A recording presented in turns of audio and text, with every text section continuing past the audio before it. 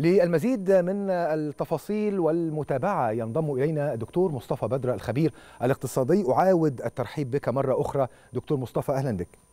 أهلا وسهلا دكتور محمد مساء الخير آه اذا هي قمة عالمية حدث فريد من نوعه. آه مصر ضيف شرف ممثلة في آه فخامة الرئيس عبد الفتاح السيسي.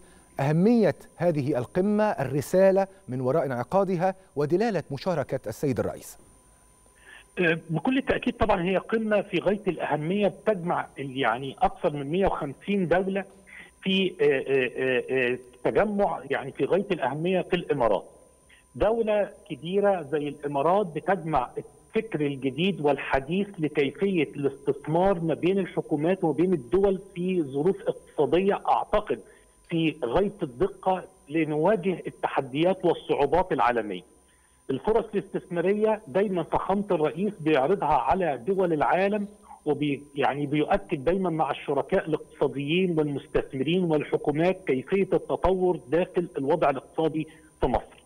النهارده لما بنشوف فخامة الرئيس بيقابل العديد من المستثمرين والشركاء يعني العالميين من جهات حكومية وجهات دولية ومؤسسات عالمية وده اللي إحنا بنشوفه دايما إن الرئيس بيحرص حرص كبير جدا على منهجية ترويج الاستثمار داخل مصر وبيضع أمام العالم الاستراتيجيات والسياسات اللي مصر بتحرص عليها في مواجهة التحديات العالمية على المستوى الاقتصادي أو التنموي أو إن إزاي يكون في التغيرات الاجتماعية حوالين العالم أجمع.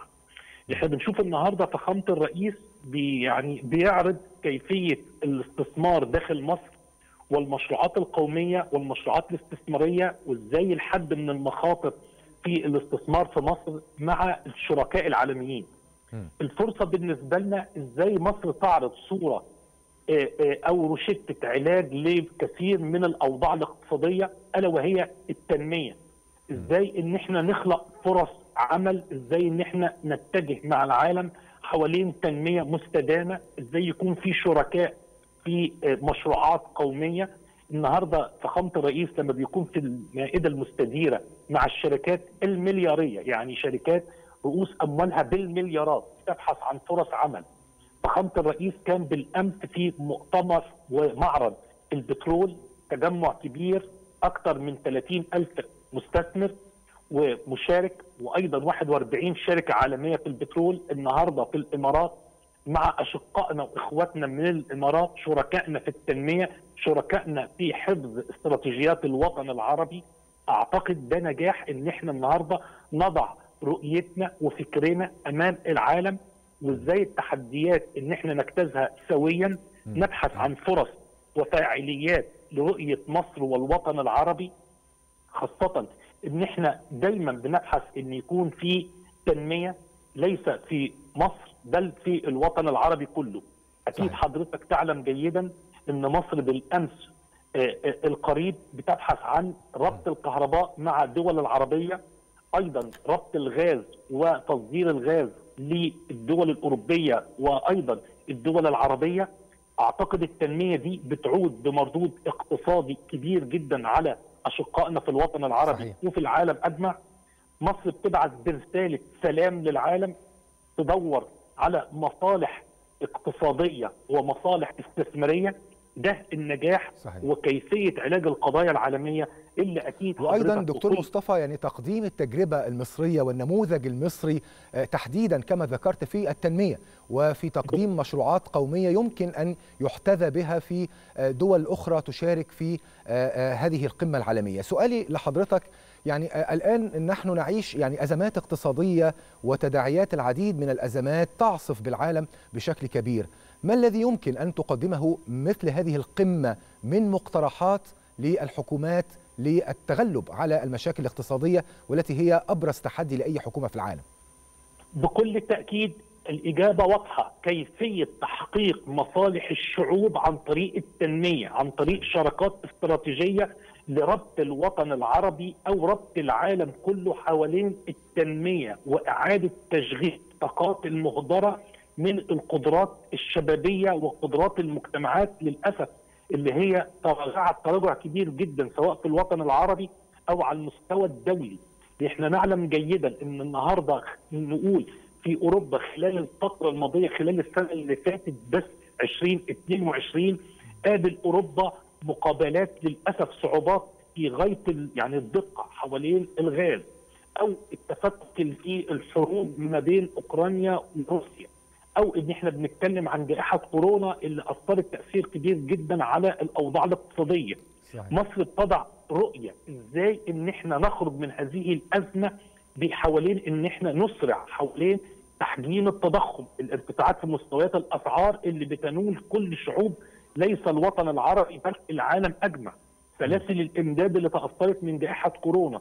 النهارده لما فخامه الرئيس بيتحدث مع الشركاء العالميين إزاي نجتاز هذه المرحلة بسرعة لأن كل المؤسسات العالمية النهارده بتتحدث حوالين ارتفاع مستويات الاسعار هتكلف المعيشة بزيادة فاتورة التكلفة على كل الأسر ليس المصرية أو العربية ولا الأوروبية ده العالم أجمع.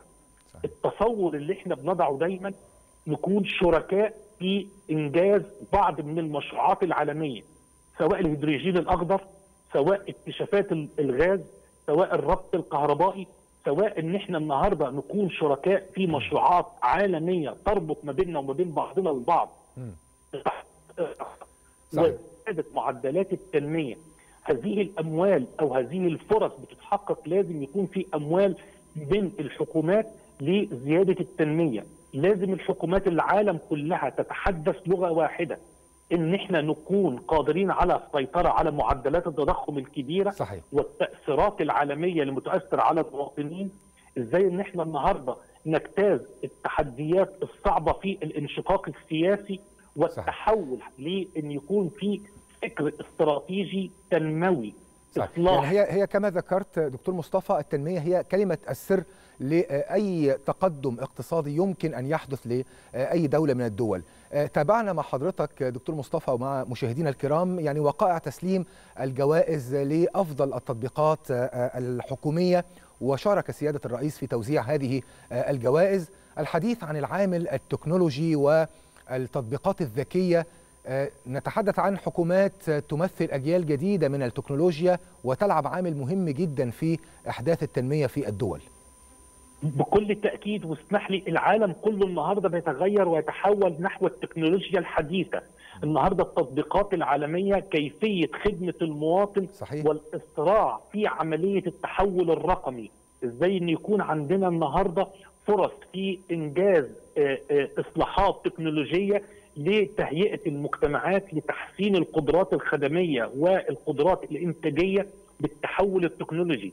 يمكن حضرتك منذ دقائق بس دولة رئيس الوزراء مع وزير قطاع الأعمال بيعيدوا تشكيل القطاع العام مرة ثانية باستثمارات بالمليارات علشان نرفع من قدراتنا التشغيلية والإنتاجية والتص...